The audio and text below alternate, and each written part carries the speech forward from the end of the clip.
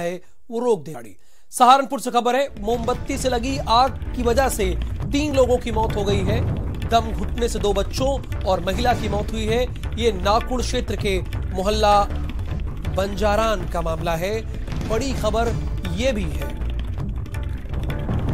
मोमबत्ती से लगी आग और इसी आग के चलते तीन लोगों की मौत हुई है। खबर यह है कि दम घुटने से दो बच्चों की मौत हुई है और एक महिला यानी कुल तीन हुए, जिसमें दो बच्चे हैं और एक महिला।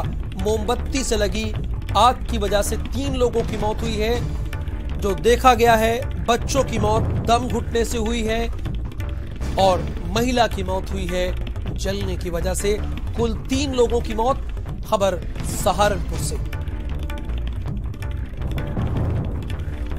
विशाल, इस वक्त हमारे साथ सहारनपुर से जुड़े हुए हैं। विशाल, कैसे ये आग लगी जरा बताइए हमारे दर्शकों को। और उस घर में तीन लोगों के अलावा और भी कुछ लोग थे या यही तीन लोग थे?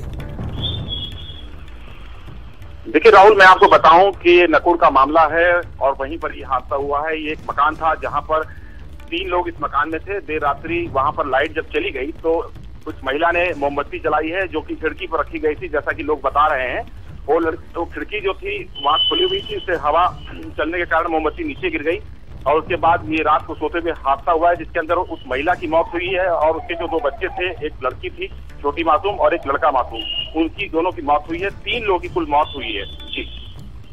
और ये उन दावों की भी पोल खोलती है, जो कहते हैं कि गाँवों में 18 घंटे से 20 घंटे बिजली आ रही है। विशाल की रिपोर्ट बहुत कुछ बताती है। बहुत शुक्रिया। और